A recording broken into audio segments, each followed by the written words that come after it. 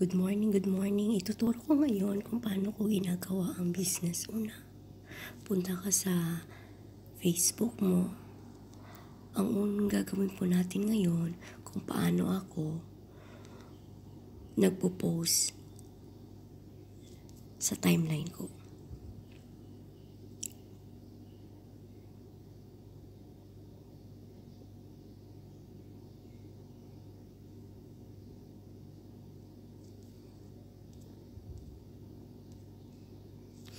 Search po natin.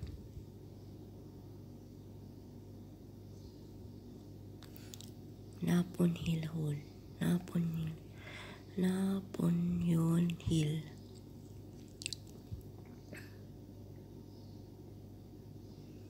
See, lagay natin yung photos. Kuha tayo ng mga gusto mo i-search dito. Ito, isa-save ko to.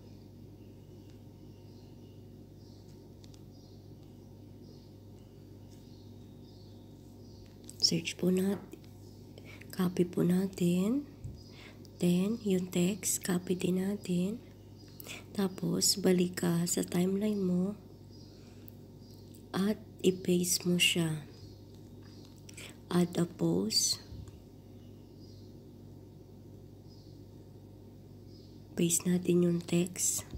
Tapos, search po natin yung sinave nating picture. Then, done. After nito, i-share natin po sa timeline ko at sa mga group chat ko. So, para makita nilang pinost ko. Kaya, for now, this is it. Good morning and to God be the glory.